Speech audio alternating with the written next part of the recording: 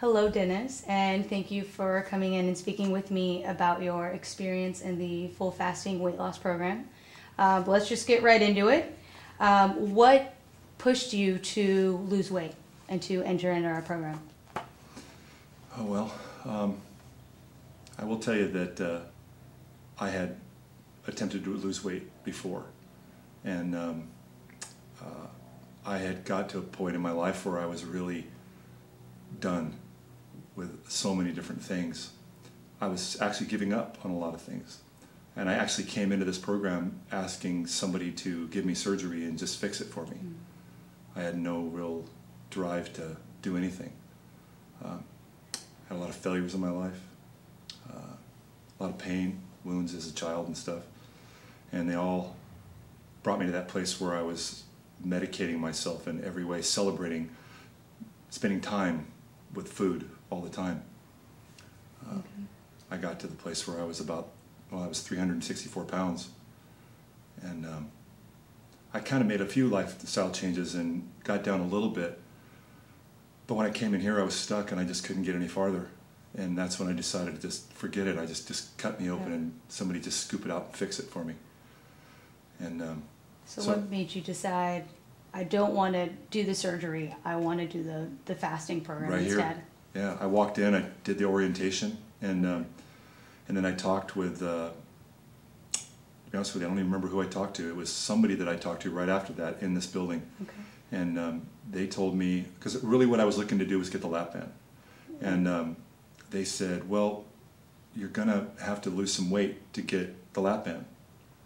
And so I thought about that for a little bit, and I'm thinking, well, if I I'm already stuck, and if I have to lose weight to get the lap band, then maybe I should just keep trying. If yeah. if I can get the support here, because I still wasn't a believer in this place, and so I took a chance, and um, and even when I started, I still wasn't a believer. Yeah. I um, I started the shakes, and um, I went into the class, you know, with the teacher here, and. Mm-hmm um, I went in the first time, that first class, basically sitting there saying to myself, I'm going to do my time and I'll get the weight off and I'll just go do my own thing. Yeah. And um, boy, were you wrong. you know, he wasn't having any of that, the yeah. teacher, you know. And um, so he just started talking, and uh, I started realizing that even though I thought I knew how to lose weight and I knew all this stuff, mm-hmm I mean, I was confident that I could do it, but it was it wasn't that that wasn't the problem. It was getting to it. I didn't have the discipline. I didn't have the drive. I felt like a failure. And he started to make me realize how I developed that from as a kid and brought it up to that point. And so when I started to see that, I really started to get hope because of this man, the way he was talking to me. And then, um, you know, everything from the blood test to weighing in and coming in and checking in with people, I started to feel that there was something different here um, it, I, I don't even know how to describe it. And so I, I gave it a chance. And then the weight started to come off. And then it didn't take me 20 minutes to get out of bed in the morning because my legs hurt so bad. Uh, I have a lot of injuries from extreme sports that I did in the past, and they were all uh, with me when in that over being overweight. Right. And so everything just started, just a little bit at a time, started to change and I started to walk. And uh, I heard Zig Ziglar say this one time when he started walking. He said, Get yourself a really good doctor, which I did now. And he goes, And go get yourself a workout suit. And he goes, Something you feel comfortable in.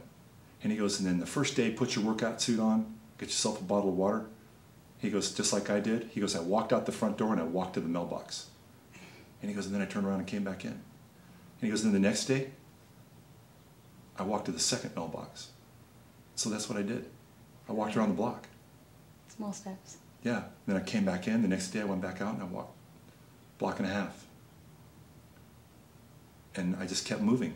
Yeah. And then all of a sudden it started to come off more and I started to feel a little bit better. And I started to realize that there was something happening here. And that's just how it got started.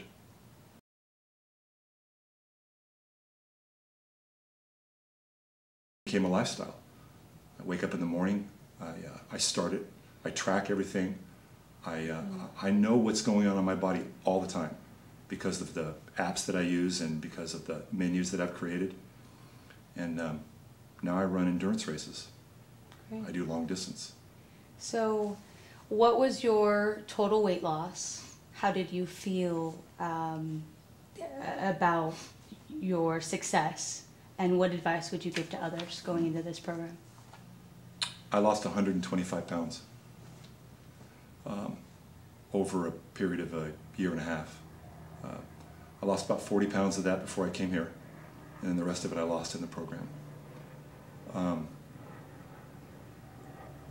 my success in this is uh, is fuel for the fire for me. Uh, and let me tell you what that means to me. It's not just the fuel inside of me to be able to do more of this. It's the fuel that I have inside of me to be able to share this with other people. Uh, it makes me sad when I see somebody that won't take the chance, won't take the time to do just even a little to help themselves get out of that place where I was, that black hole.